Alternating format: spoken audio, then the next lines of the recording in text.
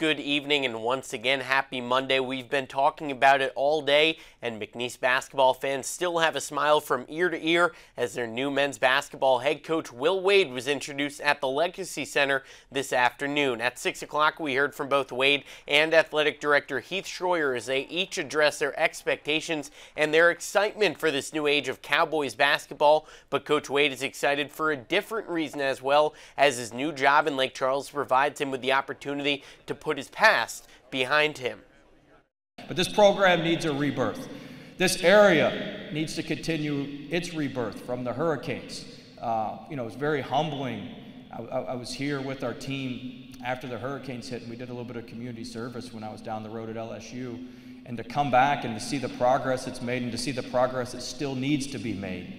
Um, you know, this area needs a rebirth. And my career needs a rebirth. Uh, you know, after after everything that's gone on, we, you know, my career needs a rebirth. And so, let's be honest, right? Wade was fired by LSU exactly a year to the day before he was hired yesterday on March 12th by McNeese after LSU received seven level one and one level two violation allegations pertaining to the men's basketball program. Wade was also suspended in 2019 ahead of the NCAA tournament after an FBI wiretap caught him discussing a strong offer for a recruit before name, image, and likeness rules were in place. Wade discussed the ongoing investigation earlier today.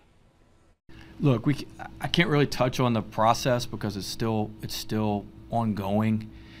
Um, I will say, you know, when you look at the totality of, of, of some of the other rulings thus far, I think with the I mean, I, will say, I mean, the university did an unbelievable amount of due diligence, uh, unbelievable amount, meeting with attorneys, law, I mean, all sorts of folks.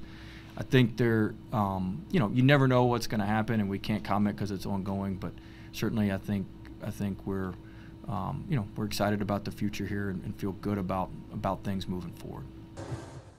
Today, when Wade was introduced as the 12th head coach in program history, several members of the men's basketball team were in attendance. However, two players who weren't there included Christian Shumate, who led McNeese in scoring and rebounds this past season with an average of 15.1 points per game and 9.7 rebounds per game, and also their fourth leading scorer, Jonathan Massey, who averaged 10.5 points per game this past season. Earlier today, Wade also discussed the current McNeese roster and the transfer portal like I said at the beginning, we want what's best for all these guys.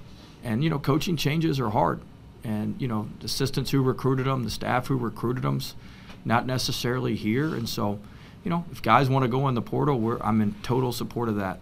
And, and we, we're going to work with them and we're going to help them, you know, wherever they want to go. And the guys who want to stay and be a part of this and want to build this and want to turn this thing around, um, you know, we're going to support them too and help them and work with them as well. So I'm all about the free market and individual choice.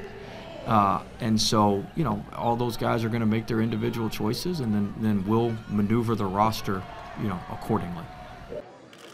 For the full press conference with the media, as well as the introductory press conference and much more, visit our website at kplctv.com.